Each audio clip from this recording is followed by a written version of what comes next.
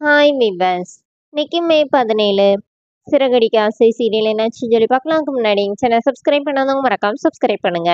இன்னைக்கு என்ன அப்படின்னு சொல்லி பார்த்தீங்கன்னா இங்கே வந்து முத்து வந்து மீனாக்காக ஒரு மோதிரம் வாங்கி வச்சிருக்கிறாரு. அப்புறமா பாட்டிகிட்ட கொடுத்து போட சொல்லும்போது பாட்டி இந்த முத்து எவ்வளோ மாறிட்டான்ல?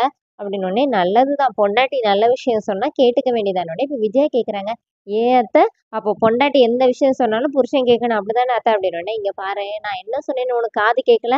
நல்ல விஷயம் சொன்னால் மட்டும்தான் கேட்க சொன்னேன். குடும்பத்தை பிரிக்கிற கதையெல்லாம் சொன்னால் அதெல்லாம் கேட்கக்கூடாதுன்னு இதெல்லாம் உனக்கு தேவையா? அப்படின்னு அண்ணாமலை சொல்கிறாரு அப்புறமா மோதிரத்தை போட்டு விட சொல்கிறாங்க பாட்டி முத்துக்கிட்ட முத்து போட்டு விடுறாரு.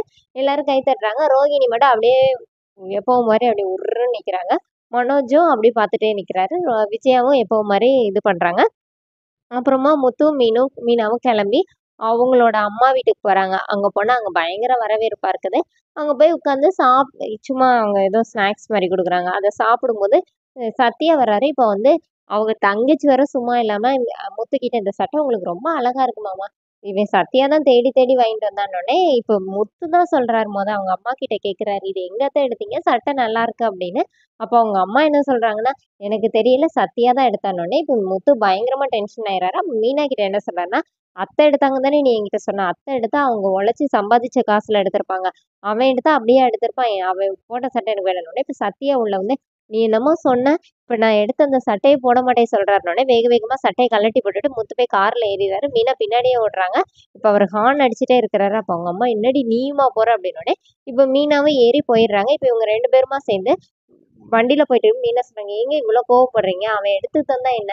இப்போ சட்டை இல்லாமல் வீட்டுக்கு போனால் எல்லாரும் கேட்பாங்கல்ல அப்படின்னோடனே இப்போ சட்டை இல்லாமல் வீட்டுக்கு போகக்கூடாது அவ்வளோதானே சொல்லிட்டு ஒரு கடைக்கு போகிறாங்க அந்த கடைக்காரர் என்னப்பா சட்டை இல்லாமல் வந்திருக்கீங்க? அப்படின்னு சொல்லிட்டு எங்கள் கடை மேலே உங்களுக்கு எவ்வளோ நம்பிக்கை? இத்தனை வருஷத்துல இவ்வளோ ஒரு நம்பிக்கையான கஸ்டமரை நாங்கள் பார்த்ததே இல்லை.